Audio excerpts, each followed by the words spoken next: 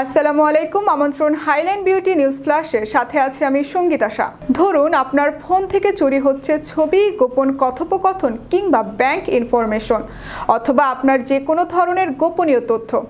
আপনি জানেনই না কীভাবে হচ্ছে এসব। বলা হয়ে থাকে, মোবাইলে ব্যবহৃত অ্যাপসের মাধ্যমে ব্যক্তিগত ডেটা চুরি হয়।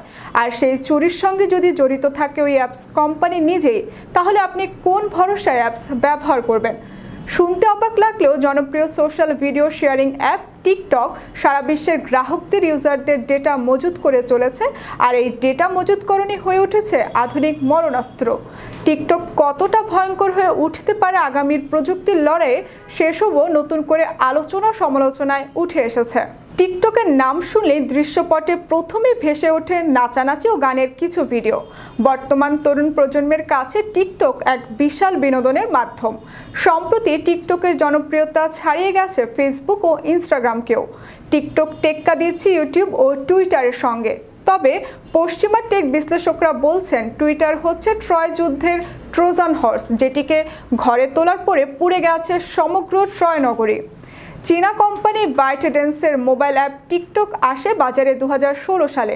কিন্তু সেটা অভ্যন্তরে থাকলেও পরের বছর দু হাজার সতেরো সালে টিকটক লঞ্চ হয় বিশ্ববাজারে। দু হাজার আঠারো সালের জানুয়ারি ফ্রি অ্যাপ ডাউনলোডের মধ্যে টপ স্থান দখল করে নেয় টিকটক। এরপর আর পেছনে তাকাতে হয়নি। শুধুমাত্র আমেরিকাতে একশো ত্রিশ মিলিয়ন ডাউনলোডের সুফল পেয়েছে চাইনিজ প্রতিষ্ঠিত এই অ্যাপটি। বর্তমানে এক বিলিয়নেরও বেশি গ্রাহক টিকটক ব্যবহার করছেন।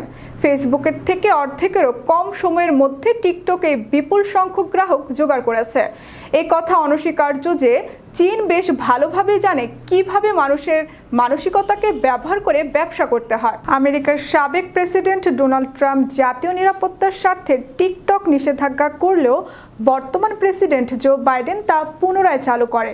সিলিকন ভ্যালিতে টিকটক ইতোমধ্যে নিজের জায়গা পাকাপোক্ত করে নিয়েছে। কিন্তু চীনা প্রতিষ্ঠান টিকটকের এই উল্লম্ফনকে সাদা চোখে দেখতে নারাজ পশ্চিমা বিশ্ব। মার্কিনীরা বলছেন, এটি চকলেটের মতো মিষ্টি বটে, তবে মোটেও এতটা নিরীহ নয়। খুব সহজে এই অ্যাপের মাধ্যমে পশ্চিমাদের গোপন তথ্য চলে যাবে চীনের হাতে। খেলার ছলে কূটনৈতিক চালে এগিয়ে যাবে চীন। হঠাৎ করে দেখা যাবে খড়ের খবর চলে গেছে। চলতি বছরের বিশ জুলাই বিবিসির এক প্রতিবেদনে বলা হয় ফেসবুক টিকটক ও ইমোর মাধ্যমে মানব পাচার বাড়ছে বাংলাদেশে। দেশের অন্যান্য গণমাধ্যম বলছে টিকটকের কারণে ঝরছে, প্রাণ বাড়ছে অপরাধ।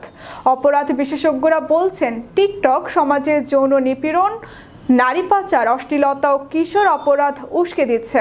এতে নতুন প্রজন্মের নৈতিকতা ধ্বংস হচ্ছে। এখন এগুলো নিয়ন্ত্রণ না করলে পরিস্থিতি আরও ভয়ঙ্কর হয়ে উঠতে পারে।